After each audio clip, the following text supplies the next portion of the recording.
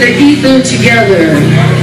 What I like to call spiritual intercourse. Would you guys like to have a little spiritual intercourse with me? I promise. Multiple orgasms.